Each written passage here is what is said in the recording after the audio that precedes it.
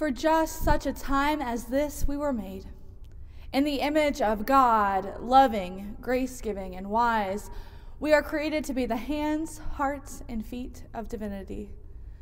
And so we come together on this Ash Wednesday, not because we must, not to puff ourselves up, but to start out on the trail leading to the resurrection. Let us worship God.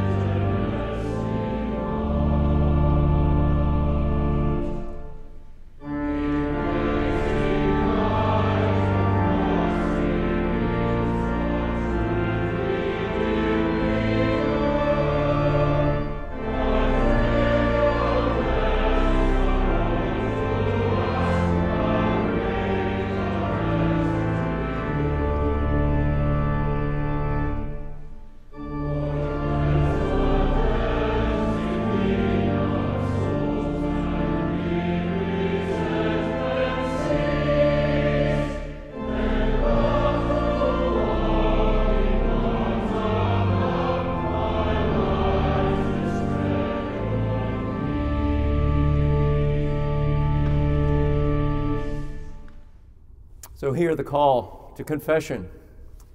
The prophet Joel cried out, Return to the Lord with all your heart, with fasting, with weeping, with mourning. Rend your hearts and not your clothing, for God is gracious and merciful, slow to anger, and abounding in steadfast love. Let us confess our sin and repent of all unrighteousness. Let us pray. Merciful God, we confess that we have been a rebellious people. We have broken your covenant and we have tolerated injustice in our land. We have not shared our food with the hungry. We have not sheltered the homeless. We have not aided the destitute. We quarrel and fight among ourselves, and we use religion to cover our deceit. We have become a mockery of your her- our heritage.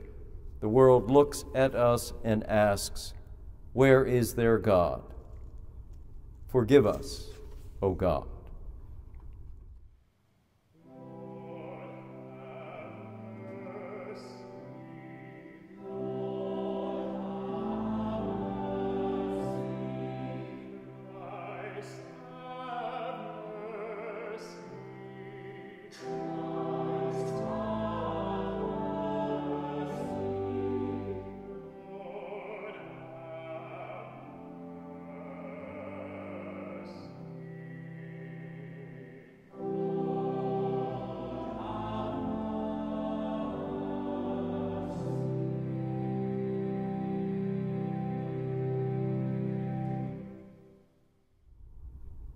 So receive the assurance of pardon. The prophet Isaiah says, If you remove the yoke from among you, the pointing of the finger and the speaking of evil, if you offer food to the hungry and satisfy the needs of those who are afflicted, then your light shall rise in the darkness, and your gloom become like the noonday. In the name of Jesus Christ, know that you and I are forgiven and new people. Thanks be to God. Let us pray. By the illumination of your Holy Spirit, O God, open our hearts that we may hear your word and amend our lives. Through Jesus Christ our Lord. Amen. Scripture lesson today is taken from the sixth chapter of the Gospel of Matthew. Beware of practicing your piety before others in order to be seen by them, for then you have no reward from your Father in heaven. So whenever you give alms, do not sound the trumpet before you, as the hypocrites do in the synagogues and in the streets, so that they may be praised by others. Truly, I tell you, they have received their reward. But when you give alms, do not let your left hand know what your right hand is doing, so that your alms may be done in secret, and your Father who sees in secret will reward you. And whenever you pray, do not be like the hypocrites, for they love to stand and pray in the synagogues and on the street corners, so that they may be seen by others. Truly, I tell you, they have received their reward. But whenever you pray, go into your room and shut the door, and pray to your Father who is in secret, and your Father who sees in secret will reward you. Here ends the reading. May God grant us understanding to these words of Scripture. One of my favorite things about the church is the fact that we have a weird calendar that the world doesn't use, but that we cling to in a different way. And I think this year I needed this weird calendar to keep track of how I felt and where we were. The days don't work anymore. It feels like this constant, what day is it? Struggle of work and rest and eat and sleep, with only Sundays as a rock. And in that calendar, the liturgical calendar, we have seasons too. Not just spring, summer, fall, and winter, there's Advent and Epiphany, Lent, and ordinary time. There are seasons that mark the time in different ways, in ways that line up with our historically important dates of our Christian calendar. And so I guess I'm just saying that I really am appreciating that calendar this year. Because as we do the things that come with this Lenten season, each Sunday of Lent gets closer and closer to what we now know as before the pandemic. We have a season that marks our time, and like any calendar, it makes us think about what we were doing last year, so blissfully unaware of what was to come. Honestly, New Year's was pretty hard this year. I had hope, sure, but so many were saying that this pandemic wasn't something that we were going to be leaving in 2020, maybe not even 2021. And so I'm grateful for the Christian calendar year, which places us right now not in the beginning of a fresh new year, but right in the thick, middle, messy part of the year. Today, Ash Wednesday, puts us on the track of a dark couple of weeks, six or so, that get darker and darker. Today, we recognize that we will die and for a culture that is youth obsessed and continually having the average length of life be longer and longer, that's hard. In normal years, this might be the only reminder that you will hear all year that you will die, that you will return to the breathless stardust that you were created out of in a normal year, anyway. And so there's been a lot of talk about what this Ash Wednesday would need to look like. Do people need to be reminded that they will die in a 12 month period when almost 500,000 Americans are dying around us? A year that 2.5 million people worldwide have been lost grandmothers and fathers, nurses and teachers, and church members, and loved ones and children. Do we still need to be reminded that we are dust?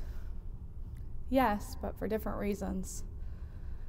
For some of us, we might think that we're too careful to die from it, too powerful to die from it, too good of health care to die from it, too important to die from it. And I think we need a reminder that good people, that important people, that careful people have all died. And if we really lean into this church holy day, we will go on a journey together for the next six weeks. One that mirrors our world, it will get darker and darker, The light will become dimmer and dimmer as people continue to die around us. As we get closer to Holy Week, Jesus will host his Last Supper. He will say goodbye to those he loves. He will die on a cross. And then he will sit dead in a tomb for a holy Saturday that looks a lot like where we are now. And if that's where you are right now, in a dark place that looks like it's just getting darker, I want you to know that this story, the church, the story of Jesus Christ, has a place and a space for your darkness. You can rest and know that you are not alone. And if you're, you're a little uncomfortable with that idea, it's probably good that we have this time to slow down and recognize it. But if you've sat in that a little too long this year, if death is all around you and you've learned to swim in it, but you need a little breath of fresh air to get through the rest, know that Easter is coming. Vaccines are coming. And as we go through this darker time, know that light is breaking through bit by bit. Know that you are loved by God just where you are and who you are right now. And that, yes, you will die. But with Christ, you also see an Easter with lilies and the tomb rolled away. And know that that death and that black cross on your forehead are only temporary things of this world. And rest knowing that tonight, when you wash off your forehead with your sink water or your skincare routine, or maybe tomorrow's shower, remind yourself that that water isn't just anything. It's a reminder of your baptism, that you will die with Christ, but you will also be raised. Know that that forehead on that cross is on your forehead because you are a beloved child of God and there's absolutely nothing you can do about it. That even when you clean it off, you are doing so with the water that connects us all together forever throughout time and space to all the saints who have come before and all the saints that will come after. That's the holy mystery of this day. That's the holy mystery of love. So remember that you are stardust, and to stardust you will return. Thanks be to God. Amen.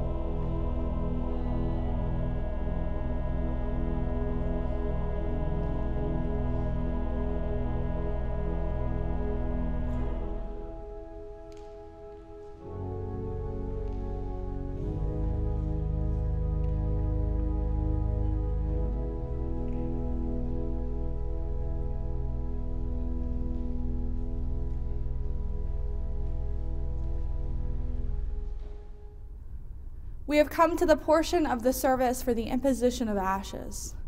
If you need a minute to find your Lent in a bag, ashes, you can pause now and come back when you're ready. If you weren't able to pick up a bag, you can use dirt, black eyeshadow, drawing charcoals, chalk, or even any oil you have in your kitchen. You may remember from our Ash Wednesday service last year, I told a story about a group who has been working within the LGBTQ plus community since the AIDS pandemic, when LGBT people were reminded every day that death was a real and present danger. And so this group started mixing in one part glitter to every three part ashes. And they say exactly what I say to you here today that this day can be what you need it to be. Friends, we don't live in fear of ash or of death. We place it on our forehead today for the world to see. And yet, we also know that God specifically calls us not to project that fear onto the other, the alien, the stranger in our midst. God insists that we look for the spark of life, of hope, in ourselves and in one another. This Ash Wednesday, feel free to add some glitter to your ash and stand witness to the gritty, glittery, scandalous hope that exists in the very marrow of the story of the Lenten journey. The thing about glitter is it leaves a trail no matter how careful you are. It sticks around, it never gives up, and neither does God's love for you. So go ahead now and dip your thumb into your ashes or your ash like substances and make the form of a cross on your forehead or hand as I say this to you. Remember, child of God, that you are stardust, and to stardust you shall return. You are dust, and to dust you shall return. You, child of God, are made of the same elements that make the stars in the night sky, and one day you shall return to those elements, and Christ is with you every step of the way. Amen. Will you bow with me in prayer? Trusting in your righteousness, O God, we pray this day for our world and for the needs of those who suffer for the church, that in this season of fasting and repentance, the people of God with sincere hearts may amend their lives and obey the gospel. For all pastors and teachers, that they may lead the church by humble example and give public witness without concern for earthly reward. For peace among the nations and integrity within governments and especially, we pray this day, O God, for our own nation in this time of healing and of reconciliation. We pray during these days for justice across the land, and especially for wisdom and guidance for our elected leaders and our new president, Joseph Biden, and his vice president, Kamala Harris. We pray for our city, for the surrounding suburbs and towns of Buffalo, for all who live here, that neighborhoods may be places of hospitality and care. We pray for the poor and oppressed, that they may find deliverance from their distress, for all who seek to alleviate human suffering, especially those on the front lines dealing with healing and hope in this time of pandemic we pray for those who suffer illness of mind or body, for those who care for them, that they may be healed of disease and know the joy of abundant life. We pray, O oh God, for those who've lost loved ones, for those struggling with this virus, for all of those you know who are in homes and hospitals, ill of mind or body or spirit.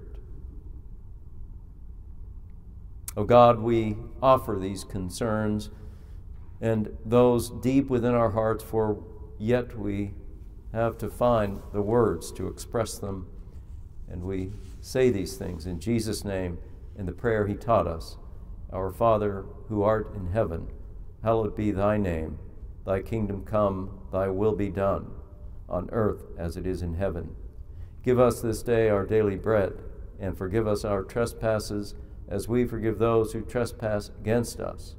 And lead us not into temptation, but deliver us from evil.